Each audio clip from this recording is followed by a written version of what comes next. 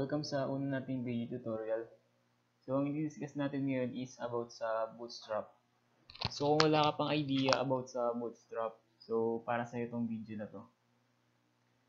Uh, so, first, um, i-explain ko kung ano yung Bootstrap. So, Bootstrap is a CSS framework. Bali, isa siyang malaking file ng CSS which is pag nagko pag magdi-design ka na yung class niya tatawagin mo na lang. So papakita ko sa inyo kung ano yung laman ng Bootstrap. So kanina dinownload ko na yung Bootstrap. Ito yung file.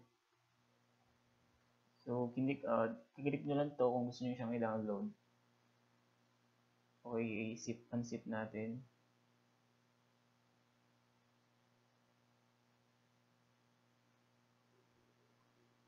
So, ayan, na-unzip na. So, punta ka sa CSS. Punta ka dun sa bootstrap.css. So, kung makikita nyo, isang CSS file siya, compose ng ilang compose ng 10 10,000 lines of CSS. So, napakalaki ng bootstrap. Bootstrap is napakalaking tulong na to para sa mga web developer kasi hindi ka na mahihirapan sa pagde-design. So, kaysa magmano-mano ka mag-design, gumamit ka na lang ng Bootstrap kasi madali siyang gamitin kasi tatawagin mo class. So, explain ko mamaya kung paano siya gumagana. So, may dalawa siyang way para magamit. Pwedeng online or, or pwedeng offline. So, kapag online, kung may wifi ka naman, habang nagko-code ka, ikakopy mo lang tong link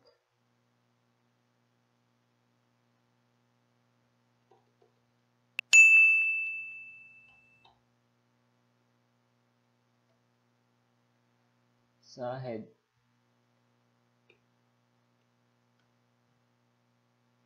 Yan. So, kung gusto mo naman siyang offline gagamitin, i-download mo siya. Katulad ng ginawa ko. Ito siya. So, ang gamitin lang natin is online. So, first.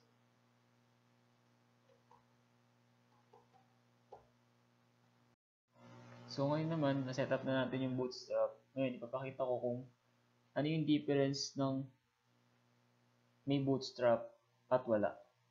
So, lagay tayo ng hello world. Save. So, para natin siya. So, makikita nyo, gilid na gilid siya dito. Which, which is, ang pangit, di ba? Pag gilid na gilid, So, kailangan mo siya lagyan ng padding para hindi sobrang dikit.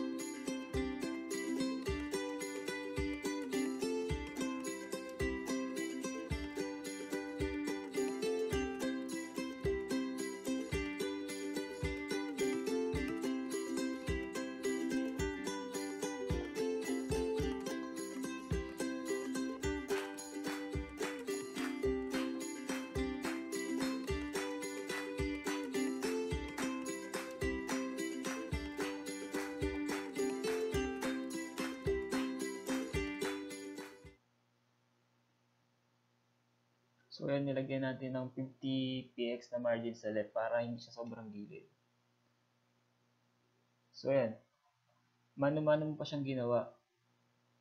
So, kung may bootstrap ka, may tatawagin ka na, na lang na class para hindi medyo magkaroon siya ng margin sa left and sa right. Para kahit mapuno na yung screen mo, hindi siya sobrang gilid. Pakita natin example. Delete na natin.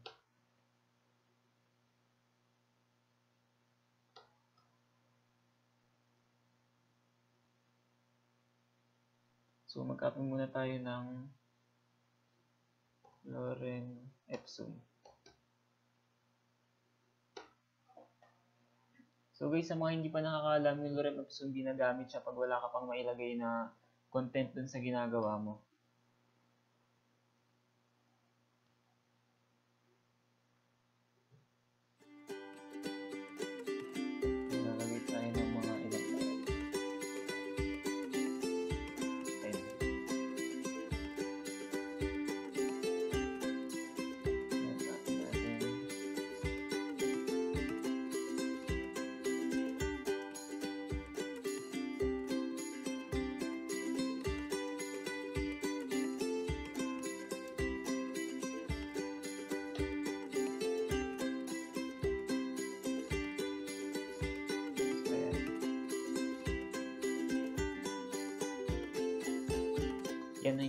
Sobra siyang dikit.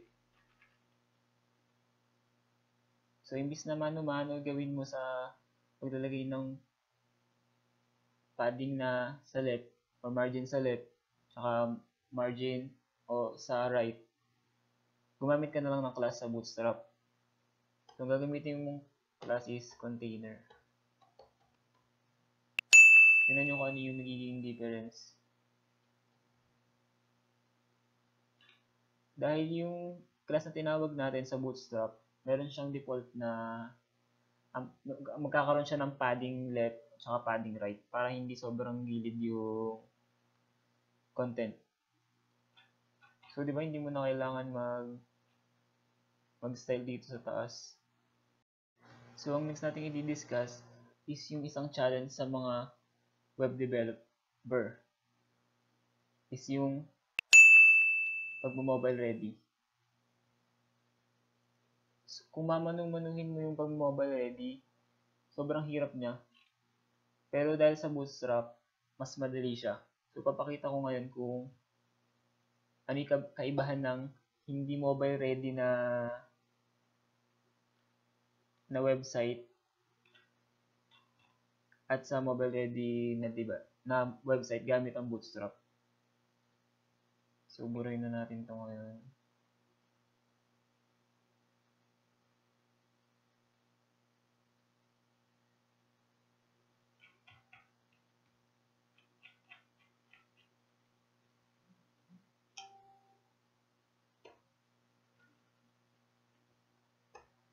So, maglalagay tayo ng another div.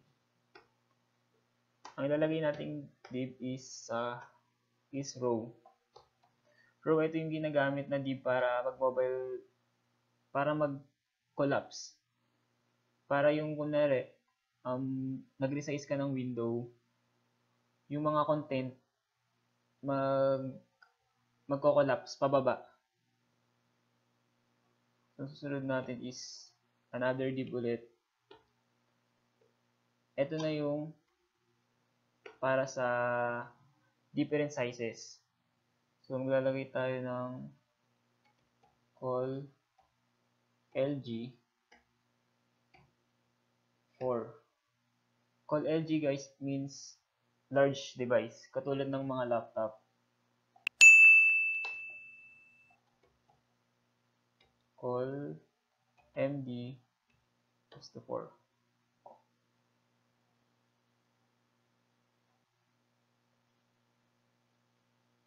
MD, MDE means mga medium device. Uh, tablet, mga ganun. So, sinet natin siya ng 4. So, i-explain ko mamaya kung bakit siya 4, 4. Kung bakit may 4 pa dun. Sunod is call SM 4. So, pag SM means mga small device, like yung mga cellphone na ginagamit natin ngayon. Tapos pag call lang, ito na yung mga extra extra small devices. Like, iPhone 5. Yun.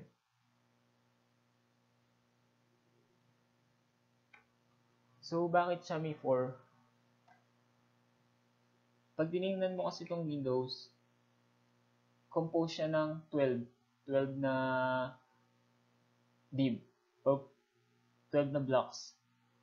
So, kung maglalagay tayo ngayon ng content dito, kunwari, tatlong picture.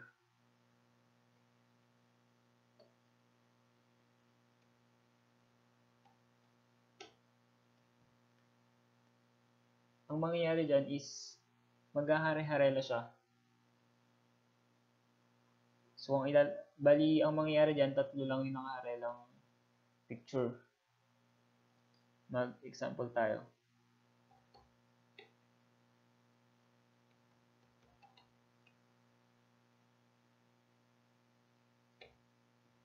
So, una lang tayo dito ng mga dinanood yung picture from W3 images.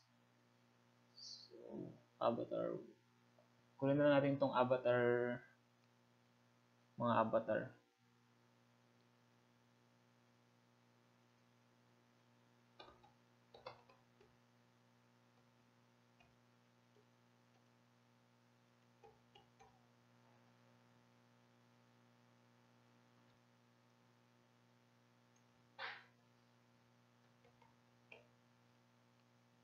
So, copy na lang natin para di na tayo magta-type.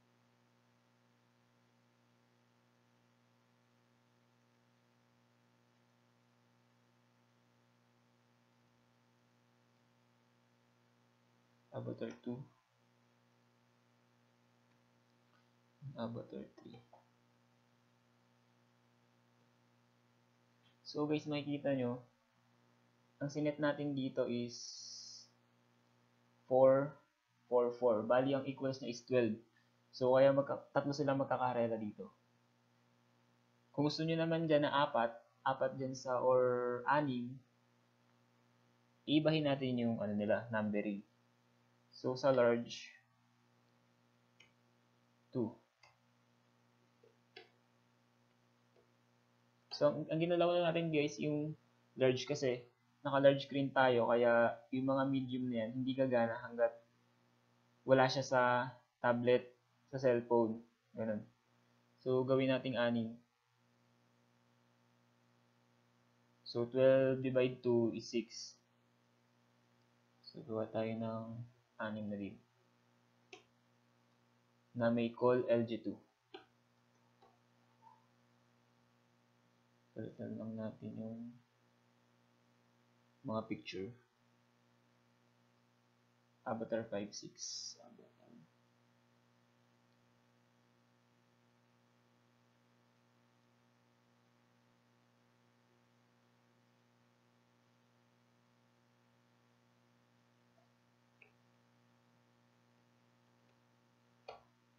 Buka tayo na isa para kumpleto.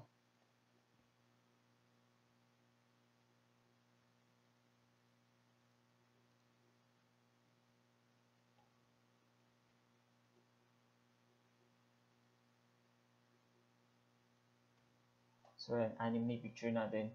Sinet natin yung sa large screen is anim siya. Anim na magkakaharela. So, yan, nakita nyo magkakaharela siya. Dahil, dahil yung, yung pinaka-screen natin is consist of 12. So, i-divide lang natin kung ilan yung gusto nating lumabas dyan. Kung gusto naman natin na apat, gawin lang natin 3.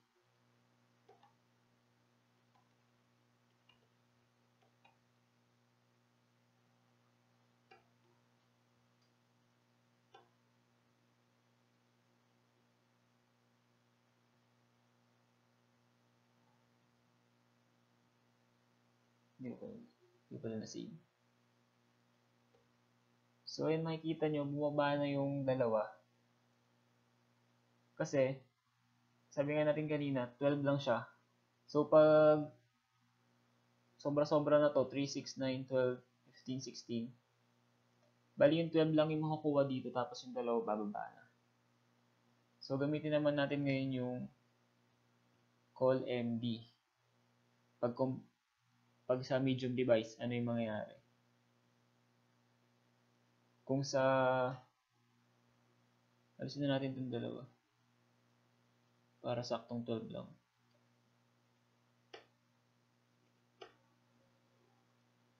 Yan, apat. So, ang gagawin natin ngayon is ano yung mangyayari pag nasa medium device. So, pag nasa large screen siya, apat yung makikita natin. Eh, pag medium screen, ang gusto natin eh, dalawa lang yung makikita. Bali, dalawa, kasi yung dalawa nasa baba. Set lang natin siya ng 6. Ayan.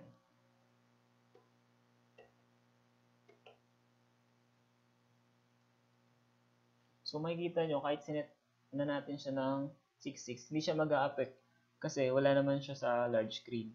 Eh, wala naman siya sa medium screen. Pag nag-medium screen na siya, pag nilasize natin yung window, dun siya mag-e-effect. So, tingnan natin. Yan.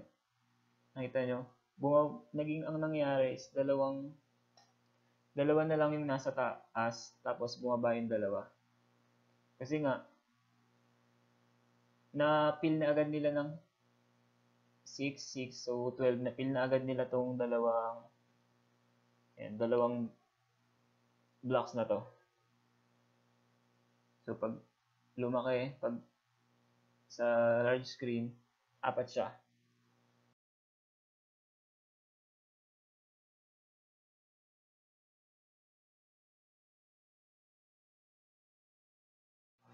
So ngayon naman, ang set natin ngayon is yung pag sa small device. So naset na natin yung sa large, sa medium. Sa pag large, apat yung naka sa isang halera, apat. Pag naman medium device na, dalawa na lang. So ang gawin natin ngayon sa small devices is isa na lang per halera. Gagawin natin siyang 12 para sakop niya yung isang yung 12 na ano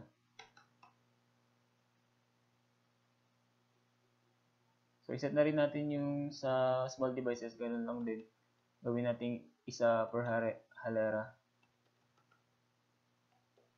Yan, 12. So, lagi nyo tatandaan, yung screen na yan is composed of 12. So, kung gusto nyo lang, kung ilan yung lalabas sa isang harela, i-divide nyo lang sa 12. Kung 3, 6, 9, 12, kung 4, 8, 12, ganun, or 2, 4, 6, 8. So, reload natin. So, yan. Makikita nyo sa small devices, isa na lang siya. So, pag medium, dalawa. So, pag large, apat. So, kung napapansin nyo, medyo magkadikit sila. So, lagyan natin ngayon ng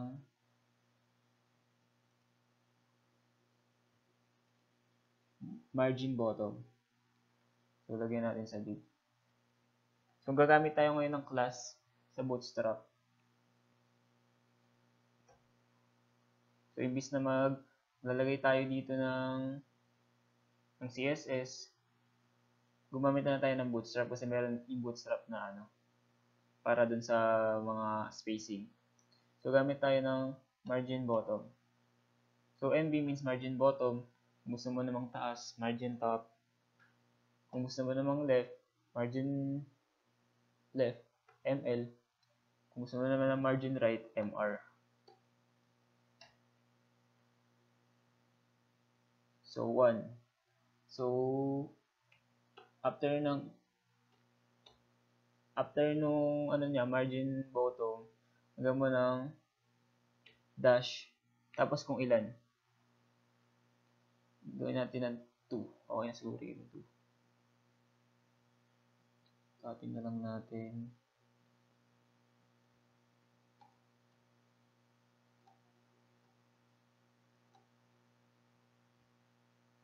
So yung MB2 na yan, meron siyang, pag tinignan mo dun sa file ng bootstrap.css, makikita nyo kung ilan tong, kung ilan yung sinet nila dito sa MB2 mga nasa ano ata to, uh, 20px. So, yan, tingnan natin. So, yan, nagkaroon na ng margin bottom. Hindi na natin, hindi na tayo nag-CSS sa ano, sa taas. Gumamit na lang tayo ng class, which is mas madali. Tsaka mas malinis tingnan. Nakikita nyo.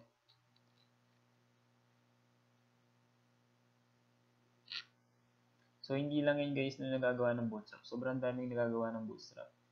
Isa pa yung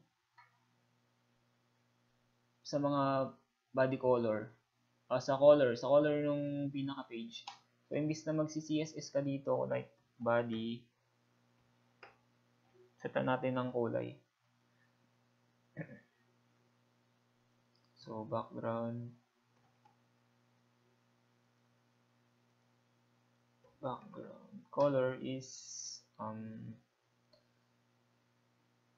powder blue. Para medyo maganda sa mata. So, yan, nag-iba ng kulay. So, may mas madaling paraan dyan. Hindi ka na mag-type ng madami. Bigyan mo na lang ng class yung body. So, class. Class is um, BG success. Pag BG success siya, guys, ang naging background color niyan is green. Yan. Meron ding, gusto mo namang red, BD danger. So, hindi naman nakaturid, parang, basta, mukhang red siya. So, kung mo ng ibang kulay, like, gusto mo ng parang medyo kulay blue, BG info. BG primary. Primary. So, yan. So, gusto mo naman ng dark. BG dark. So, yan. Dark na lang yung gawin natin. So, eto pa yung ano, gamit na gamit sa Bootstrap sa web development. Is yung sa mga form. Kasi mag-sample tayo dito. Maglagay tayo ng form. Gawa na tayo ng another div.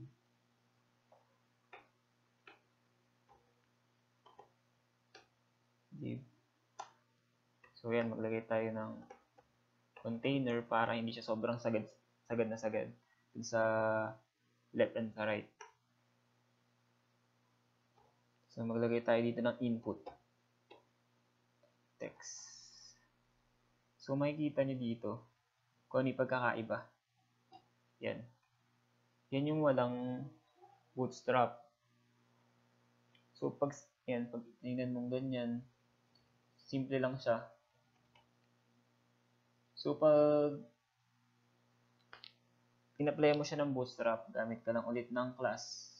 So, sa bootstrap, guys, puro class lang yung ginagamit. Kukunin lang natin yung class sa bootstrap, tapos i-apply lang natin siya dito. Depende kung saan nyo gagamitin. So, kung sa form nyo gagamitin, gagamitin yung class is, sa mga form input is form control. So, ano yung mangyayari pag nilagay mo siya ng form control? So, guys, nakita niyo yung effect. Bigla naging maayos yung yung input niya. Nagkaroon din siya ng border radius. Yan. Mas umayos yung ano niya.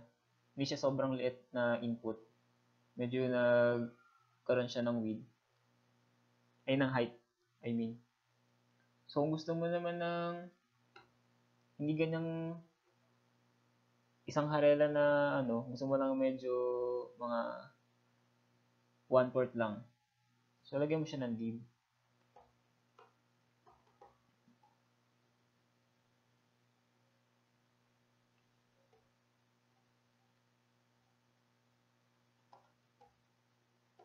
Class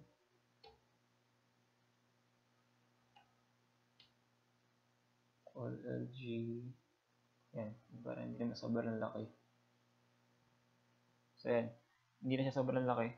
Kung gusto mo naman na mas maliit pa, yan. Yan. Okay. So, ito din pa, meron pa yung sa pag sa text area. Text area. Yan. Rows Calls. Pwede mo din siya lagyan ng form control. So, ayan, pag walang walang form control, ganyan siya. Masyadong maliit.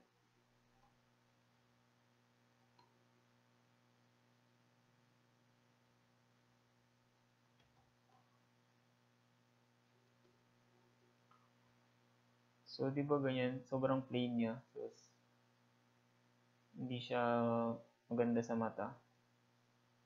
So, pag nilagyan mo siya ng class na form control,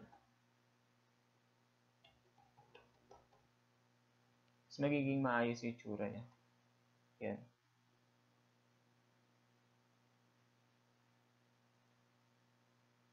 Kaya na nga natin ito is mga 6. Lagyan natin ng class na margin bottom 2.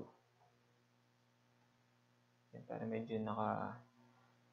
Yan, so compare nyo dun sa walang form control na input, ibang-iba. Mas maganda kung may bootstrap.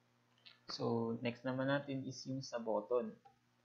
Ito, sobrang plain na to pag pag walang ano, pag walang bootstrap. So, ayan, ganyan siya. Sobrang plain niya. So, kailangan pa siya designan dito sa taas para magkaroon siya ng para hindi sobrang plain. So, lagyan natin. Gawin natin ano, mano-mano. So, background color, red, color, white. So, yan. So, mano-mano. Kasi, meron pa siya yung parang border sa gilid. Hindi siya maganda tingnan. So, gumamit ka na lang ng bootstrap para hindi ka na mag CSS pa sa taas. So, gamit ka lang ng ulit ng class. So, BTN. BTN muna. So, tingnan nyo kung ano yung mangyayari dito sa button. Pag BTN lang muna. Ayan. Meron siya yan. Wala pa siyang kulay. Transparent pa rin kulay niya. Pero yung ayos nung padding niya, okay na.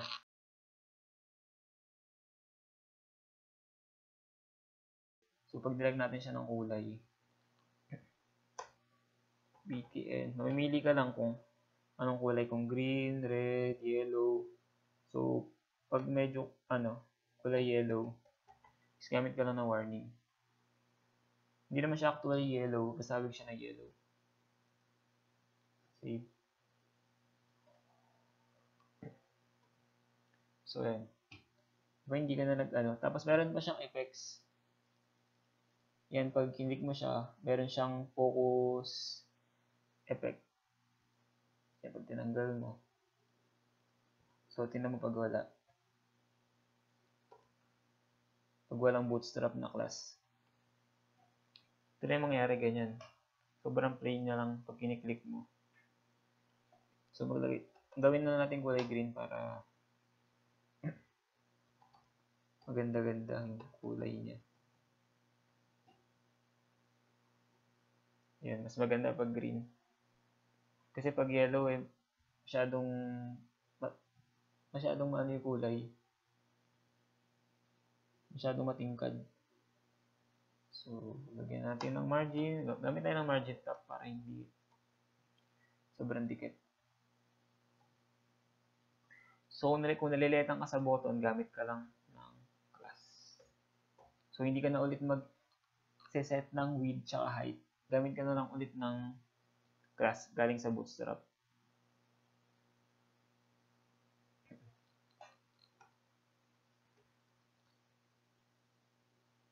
BTN LG para lumaki siya. So, nakita nyo, lumaki yung button, gamit lang yung isang class. Kung gusto mo naman ng mas maliit, BTN SM. Yan, button. Kung gusto mo naman na dun sa call LG6 na yon sakop na sakop na yung sakop na sakop na yung pinaka-div gamit ka lang ng BTN block. Para kung ano yung size ng div, hindi yung magiging size ng button. Yan. Magkakapantay na sila.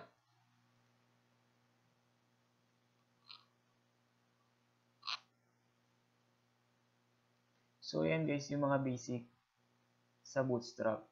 Marami pa yung, marami pang pwedeng gawin sa Bootstrap. Marami pa siyang pwedeng maitulong sa pagde-develop niyo ng website. Ito lang yung guys, yung i-discuss natin ngayon is yung mga basic. Yung mga laging ginagamit. So, kung gusto nyo makita yung lahat ng mga example nila, punta lang kayo sa site nila. Ito yung link, getbootstrap.com. So, punta kayo sa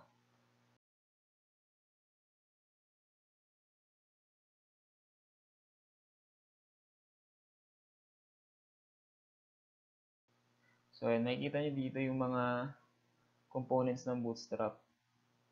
Yung mga class niya, kung ano pa yung iba mong pwedeng gawin sa Bootstrap. Yung sa layout, ito yun. Sa container,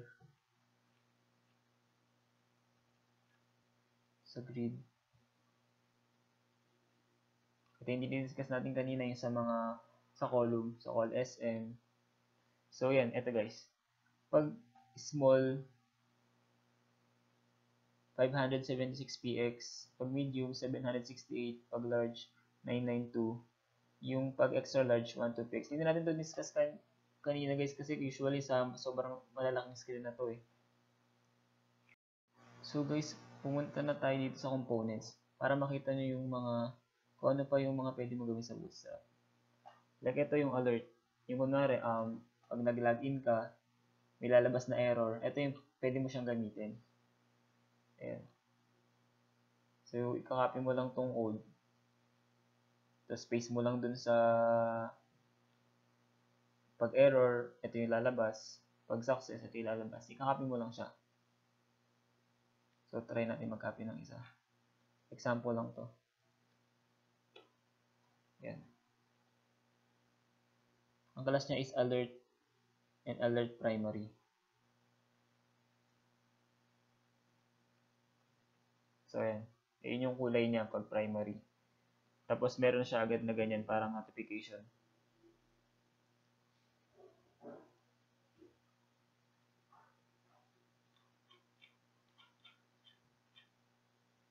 Yan yung mga badge. Sa trick gagamitin mo class is badge and badge secondary. Ayan.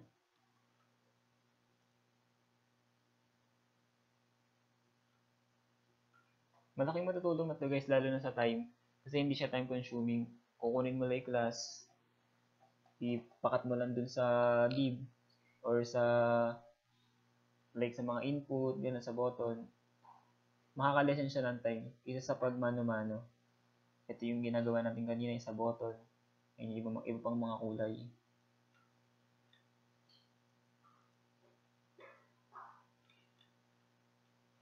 So, yun guys. Sana may natutunan kayo sa video natin. So, binigay na natin ngayon yung basic. So, kayo na lang mag-explore. So, yung advice ko lang, ngayon na alam nyo na yung bootstrap, kung ano ba, kung paano gumagana yung bootstrap, sana is ipagpatuloy nyo yung pag-explore sa bootstrap. Kasi pag na-master nyo to, sobrang ano, madadalian na kayo sa ano, sa pag sa web development lalo na sa design. Kasi hindi mo na kailangan magmano-mano ng design which is napaka time consuming. Malaking tulong yung bootstrap kaya sa mga aspiring web dev dyan, pag-aralan nyo siya, explore nyo, hanggang sa ma-master nyo. Kasi sobrang, pag na-master nyo siya, sobrang worth it. So, yun, sana may natutunan kayo sa video and thank you for watching.